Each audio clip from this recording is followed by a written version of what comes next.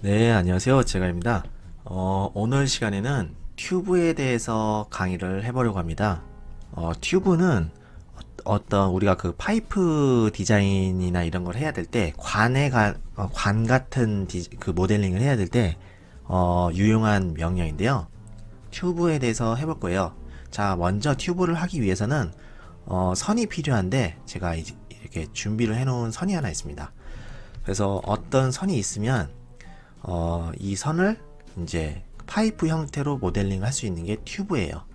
자, 그래서 어, 제가 튜브라는 명령을 실행을 해 보겠습니다. 그래서 튜브를 실행해 주시고요. 자, 먼저 어, 제가 이제 튜브에다가 이제 선을 선택을 할게요. 그래서 선을 클릭을 해 주시고요. 어, 여기 보시면 어, 아우터 디아미터가 있고 inner diameter가 있어요. 그래서 외경, 내경 이걸 따로따로 설정을 하는 게 가능해요. 그래서 만약에 외경을 10mm라고 잡고요.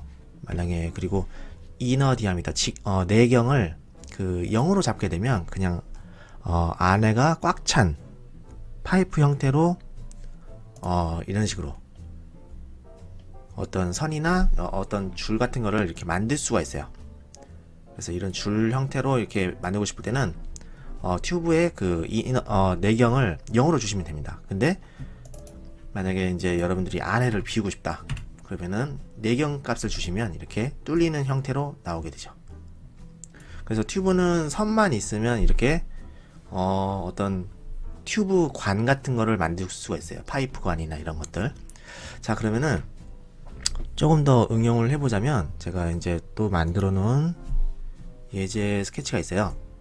어, 이런 형태, 만약에 우리가 그 라디에이터 있잖아요. 라디에이터 모델링을 한다고 했을 때 그거하고 아주 비슷한 형태로 제가 간단하게 이렇게 만들어 봤어요. 그래서 라디에, 라디에이터 어, 모델링을 할 때 또 유용하게 쓸 수 있는 게 튜브거든요. 그래서 이 상태에서 튜브를 실행해 주, 주시고요. 어, 이거 같은 경우는 이제 연결된 모든 선이 전부 다 튜브로 만들어지게 될 거예요. 그래서 저는 이 선을 어, 전체 어, 커네, 어, 탄젠트 커브로 해놓고요. 한 번에 다 선택을 할 거예요. 자 그리고 외경은 저는 한 15에 어, 내경은 한 10 정도만 해볼까요? 10 정도. 그래서 이렇게 해서 외경은 15, 내경은 10으로 놓고 OK를 누를게요.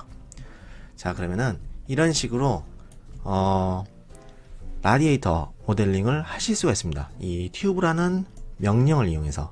그래서 어, 하시다가 뭔가 좀 내경이나 이런 게 좀 마음에 안 든다. 이런 식으로 수, 수, 수정이 가능하고요. 이런 식으로.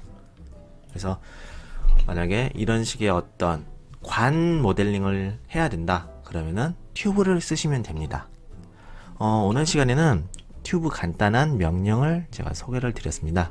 저 그러면은 다음 시간에 뵙겠습니다. 감사합니다